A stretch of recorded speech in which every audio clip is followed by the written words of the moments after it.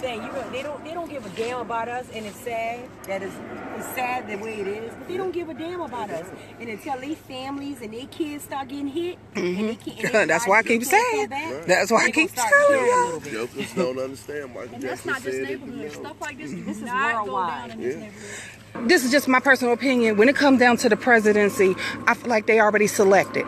Okay, but when it comes down to the local voting, that's where our our votes really do matter. Get the wrong people out of daggone office. Bottom line.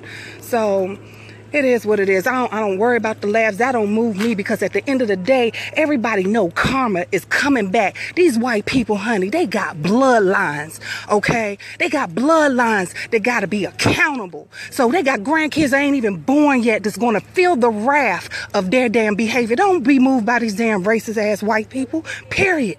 And, I, and, and everybody know I got white friends, whatever, and I don't care. They love me. They know who I am. But I'm only speaking to the racist white people.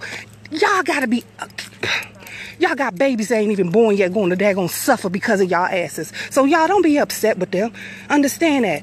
Understand at the end of the day, like that sun go up and come down, you gotta understand they gonna feel this shit. They gonna feel it. They got grand, great, great grandbabies that's going to daggone live in daggone turmoil because of their ass. Don't worry about them.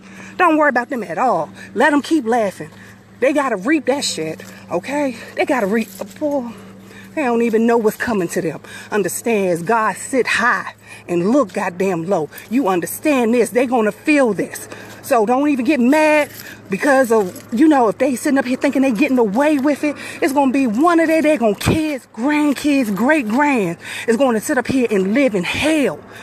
Okay, gonna feel this because of their daggone hands. There's too much innocent bloodshed. That's why I can't understand how white people can have the audacity to say any damn thing about another race. All the innocent bloodshed that y'all goddamn have tagged to your whole daggone bloodline. Get the hell out of here.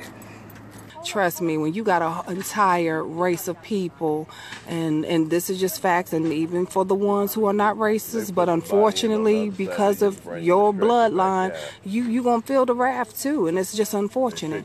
And um, and again, I don't have, um, I'm not prejudiced, I'm not racist, I don't, um, I don't have any ill uh, will or intentions to any race, but the truth is y'all have shed a lot of innocent blood and y'all gonna have to reap that. that's just life. You gonna reap it. So don't even worry about the, the smiley faces and things of that nature. They gonna reap that. The whole bloodline entire bloodline an entire race of people. You got a wrath that's coming upon you and that's facts